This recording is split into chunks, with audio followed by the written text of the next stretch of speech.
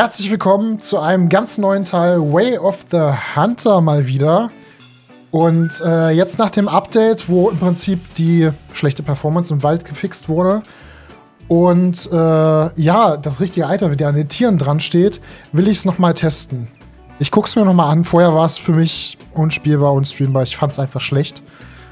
Aber jetzt, äh, nach dem Update, wir gucken mal, was sich so geändert hat, ob sich was verbessert hat. Und ja, viel Spaß im Video. Let's go. Habe ich schon mal gesagt, wie geil ich das finde, dass ich das freigeschaltet habe, dass ich einfach beim Rennen den Jagdsinn anbehalten kann. Das ist mega gut.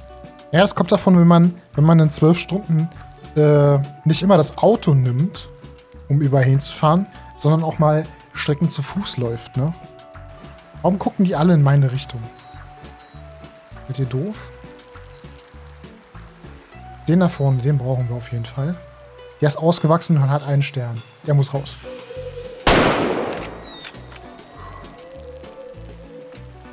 Ah, ich habe falsch, falsch genullt. Ich muss jetzt wieder reinkommen. Egal, ich glaube, das war trotzdem gut.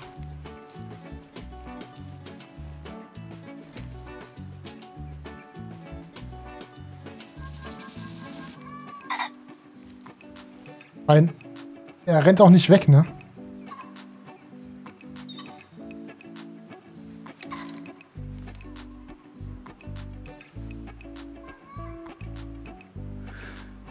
Frechheit, dass du nicht wegkommst. Okay. Hast aber Glück gehabt. Ich wollte gerade auf dich schießen. Finde die Blutspur nicht mehr. Ey, die Fasane, die haben echt keinen Respekt vor mir.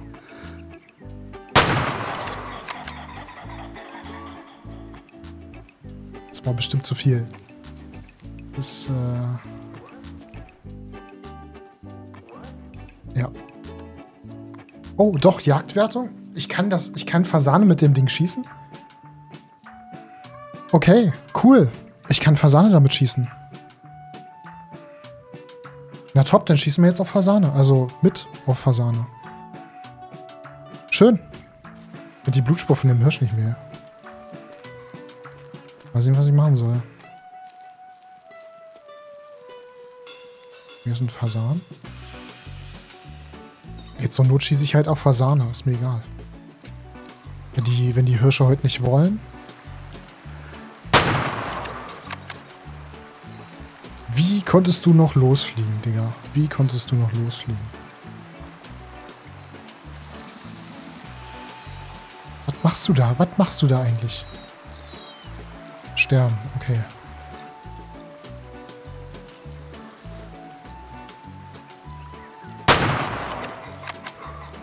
Jetzt. Okay. Der... Okay, der erste Schuss hat ihn überhaupt nicht interessiert. Okay, cool. Du bist kugelsicher, Digga. Und der zweite dann aber schon. Ja, ich guck mal weiter. Also irgendwie, weiß ich nicht. Der eine Hirsch da, der hat mich anscheinend krass gedodged. Äh, es kann auch sein, dass, wie gesagt, ich habe ja die, äh, die Nullung falsch gemacht. Ich muss jetzt mal wieder reinkommen.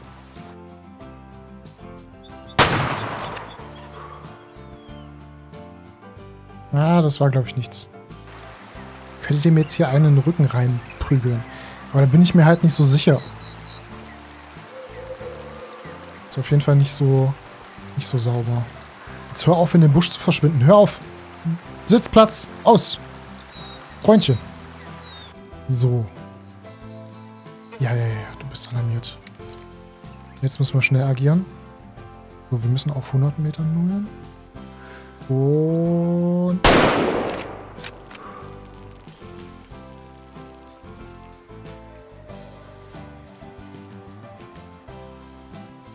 Das sah gut aus.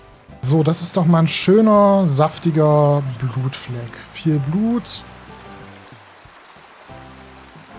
Das ist eine Spur, die man sehr leicht verfolgen kann. Top. Fällt mir. So, Doppellunge.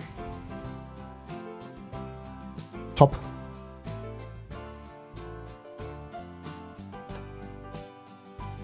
Jagdbewertung, äh, Jagdwertung 5 Sterne, Trophäenwertung 1 Stern, hatte 38,9. der musste raus. Der musste raus. Äh, falls ihr euch nochmal alle Abschüsse aus den Streams oder den YouTube-Videos angucken wollt, äh, kommt bitte auf meinen Discord, der Link ist in der Videobeschreibung. Und ähm, im Channel erlegtes poste ich alle Stream-Abschüsse, alle Videoabschüsse. Und im Channel erlegtes Community dürft ihr gerne eure Abschüsse präsentieren. Ja, sehr gut. Den haben wir erwischt. Aber den haben wir ganz gut... Ah, es war ein Weibchen. Okay, alles klar. Habe ich von Weitem gar nicht so gesehen, dass es ein Weibchen ist. Jagdwertung, 5 Sterne. Also ich kann... Ich bin kein großer Flinten-Fan, außer bei Enten. Aber mit dem, äh, mit dem Gewehr, das ich jetzt dabei habe, kann ich tatsächlich Fasan äh, am Boden mit Gewehr schießen. Und das gefällt mir. Das gefällt mir, meine Freunde. Da sehe ich mich.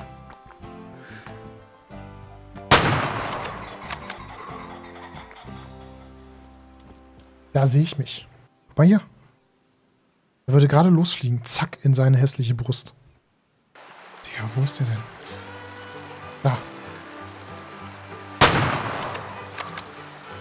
Erwischt. In sein Ass geschossen. Top. Jedoch, da macht, äh, macht mir die Fasanenjagd mehr Spaß als mit, äh, mit der Flinte. Er ist jung. Oh, ey, ich bin so glücklich, dass das wieder funktioniert. Alter, als sie das kaputt gefixt hatten, wirklich. Ich dachte, das, das kann nicht wahr sein. So was Wichtiges in dem Game. Die Anzeige, ob das Tier, wie alt das, also wie alt das Tier ist, also ob das ein Jungtier ist oder nicht. Das ist so wichtig. Kann ich nicht verstehen, wie man das, wie man da ein Update rausbringt, ohne es vorher gecheckt zu haben, ob das funktioniert oder nicht. Also, das muss auch schrecklich sein, ne? Du lädst so ein, machst so ein Update klar und sagst so, jo, jetzt haben wir zumindest ein paar Sachen gefixt, ne? Lädst das hoch und die ersten Rezessionen kommen rein von wegen, was habt ihr dafür Scheiße programmiert, Digga. Ah, ich bin mir bei Vapitis nicht so sicher. Die sind halt extrem, in diesem Spiel sind die extrem auf Geräusche aus, ne? Also die hören einen sehr, sehr schnell von ziemlich weiter Entfernung. Weiß ich nicht. Ich würde jetzt gern mal versuchen, mit der Pro Hunter 2 zumindest mal zu aimen, um zu sehen, ob ich mit der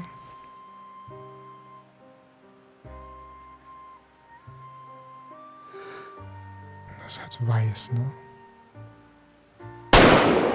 Wir probieren es aus. Wir probieren es einfach aus. Die waren ja alle ziemlich gleich. Also da war jetzt keiner dabei, der wirklich ausgewachsen war. Aber erwachsen zumindest mit einem Stern ist auch okay. Die können wir auch rausknallen.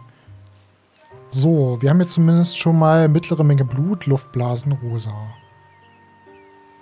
Und hier geht unsere Blutspur entlang. Top, Leute. Top. Linker Lungenflügel.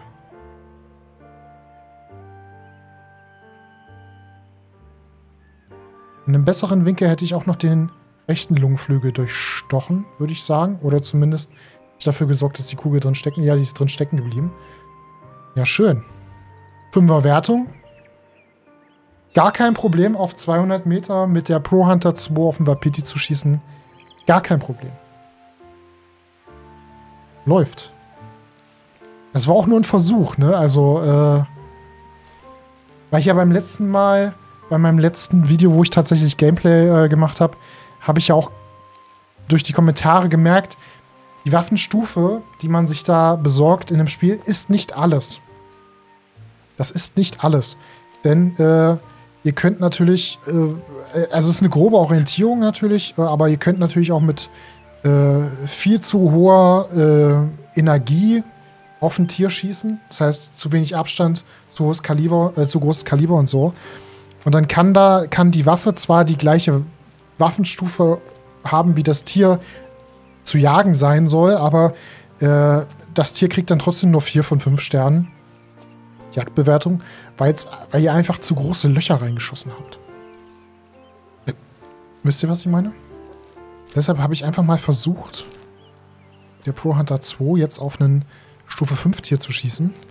Um Wapiti. Und äh, ja, es hat funktioniert. Also irgendwer hat auch geschrieben, das habe ich jetzt zwar noch nicht ganz bestätigen können, weil ich es noch nicht gesehen habe, aber äh, wenn ihr mit der Waffe unterwegs seid und in, im, im Zielfernrohr seid, dann seht ihr oben rechts die Entfernung. Das könnt ihr dann nochmal abschätzen. Also jetzt bei mir gerade 27, 28, 29, 26, 27 Meter. Äh, und daneben die Joule-Zahl an Energie, wenn das Geschoss an der Stelle eintritt. Und das verfärbt sich wohl. Diese Anzeige der Energie verfärbt sich wohl. Und äh, anhand dieser Verfärbung kann man wohl dann sehen, ob man gerade gut schießt oder nicht. Also ich muss, äh, muss sagen, ich habe heute schon äh, mit einer gelben Anzeige auf Tiere geschossen, die haben eine 5er, 5er Jagdwertung. Und eben gerade das Vapiti hatte eine weiße Anzeige. Äh, ein bisschen Glück gehört auch dazu. Und dann halt die richtige Stelle am Tier treffen. Ne? Aber wenn man so in die Lungenseite rein schießt, hast du ja eben gesehen, auf 200 Meter überhaupt gar kein Problem. Überhaupt gar kein Problem. Ich muss aber auch gestehen, dass ich bisher Wapitis nie so äh, kontrolliert geschossen habe. Also so schön am Waldrand da stehen, habe ich die noch nicht gesehen. Ne? Also entweder standen die mitten im Wald und ich habe die verjagt durch, durch zu laute Geräusche und so.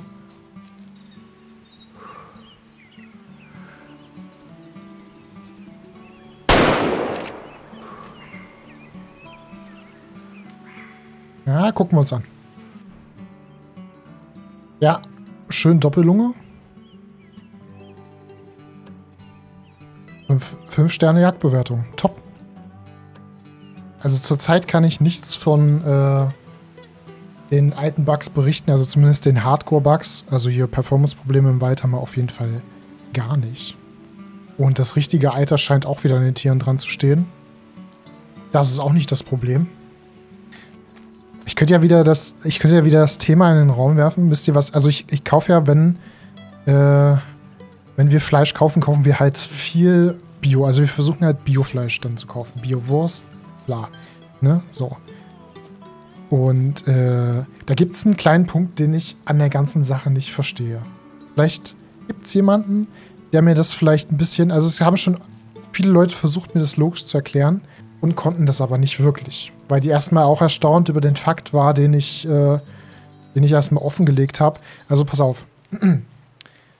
Was ich verstehe ist, äh, ihr kauft eine Bio-Hähnchenbrust. Ne? Also so ein Zweierpack. Ne? Zack. Äh, die hat ungefähr, also die Packung hat ungefähr äh, ein Fleischgewicht von 300 Gramm. Das heißt, eine Brust hat 150 Gramm. Ähm, kauft ihr nicht Bio, äh, hat eine Brust in der Packung 300 Gramm. Wisst ihr, was ich meine? Also die, die Brust ist doppelt so groß. Das verstehe ich, weil, ähm, weil natürlich das Biohuhn nicht auf so Masse gezüchtet ist, ne? Es hat kein Masthuhn ist. Da verstehe ich das bei der, äh, bei der, äh, bei der Brust, ne? Aber was ich nicht verstehen kann,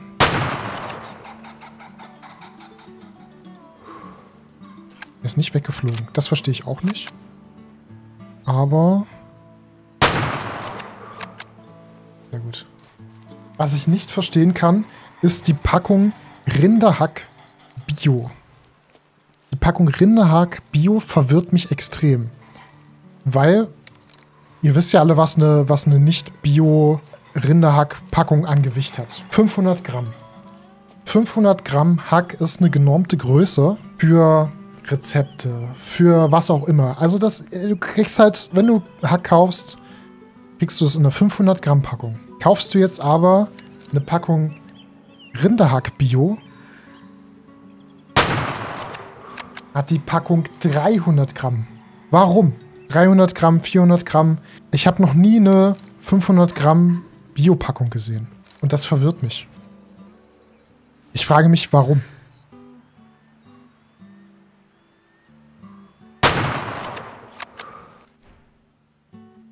So. Schöner Treffer. Meinst du, es hat nur was mit dem Preis zu tun? Weil das, also ich, es heißt ja nicht unbedingt, äh, ich kaufe jetzt oder esse bewusst, bewusster Fleisch, heißt ja nicht, ich esse weniger, also heißt ja nicht automatisch, ich esse weniger Fleisch. Für die meisten Leute schon, ja. Aber ich möchte, also wenn ich jetzt gutes Fleisch kaufe, möchte ich dann auch die gleiche Menge kaufen, wie wenn ich kein gutes Fleisch kaufe. Und so eine 300 Gramm Packung äh, Rinderhack äh, versaut mir halt vollkommen das Rezept. Dann muss ich ja zwei Packungen kaufen. Und dann habe ich 100 Gramm übrig. Dann esse ich ja mehr Fleisch, als ich, als ich vorher gegessen habe. Also, das ist halt die Erkenntnis, die mich schockiert. Oder wütend macht auch, weil bewusst, also bewusst gutes Fleisch zu kaufen, heißt für mich nicht gleich weniger zu kaufen. Klar könnte das jetzt auch am Preis liegen, aber das macht für mich irgendwie, also macht irgendwie für mich alles keinen Sinn. Das ist ein sehr undurchdachtes Konzept. Ja, äh, aber ihr wisst ja schon, was ich meine. Ne? Also es ist halt ein verwirrendes Problem, äh, was mir aufgefallen ist. Schön, schönes Ding. So. Oh, schön. Oh, ein Herztreffer. Lol, ich habe Fasanen durchs Herz getroffen. Top. Aber nur weil das halt, weil es halt so teuer aussieht für 500 Gramm, finde ich es einfach, macht es für mich keinen Sinn, einfach eine Packung zu machen mit 300 Gramm, in der Hoffnung, dass die Leute denken, es sind 500 Gramm, den Preis sehen und sich sagen, okay, Bio geht ja vom Preis, kaufe ich. Und dann zu Hause feststellen, Leute, das sind ja gar keine fünf. Das, äh, für mein Rezept passt das ja gar nicht. Oh, was haben wir hier? Wisst ihr, was ich meine? Das ist halt schlecht. Also ich, ich, der in den Laden geht und lesen kann, frage mich, warum soll ich jetzt 600 Gramm Hack kaufen, weil ich äh, Hack brauche für mein 500 Gramm Rezept. Das nervt. Wisst ihr, was ich meine? Das nervt. Oder man muss tatsächlich dann an die Theke gehen und das da kaufen dann. Aber wenn ich jetzt nur mal schnell in Lidl fahre, weil ich mir eine Lasagne machen möchte, da gibt es nun mal keine Theke, aber da gibt es Biohack. Aber 300 Gramm Packung.